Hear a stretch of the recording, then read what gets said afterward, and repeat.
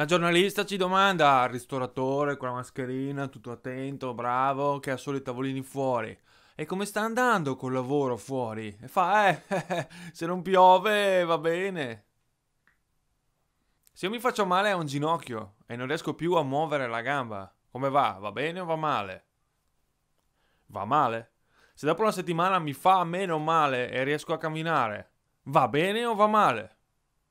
Va meglio? Ma non va mica bene. E poi riesco anche a fare due passi attorno a casa, come va? Va bene? No, perché io vorrei fare come prima che facevo 50 km in bicicletta. Non va mica bene, va sempre un po' meglio. No, perché qua ci vengono dati come ai carcerati dei bicchierini di acqua ogni giorno un po' di più. E allora, ah, hai visto? E ieri te ne davano un bicchiere d'acqua al giorno, adesso ce ne danno due, eh, i carcerieri qua. Eh, adesso sì che va bene. Eh, non va bene, no, perché quando aprono la porta io posso uscire, lì sì che va bene.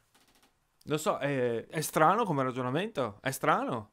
Un'ora in più di coprifuoco. Ehi la champagne, eh? Adesso il primo giugno forse riaprono i locali dentro.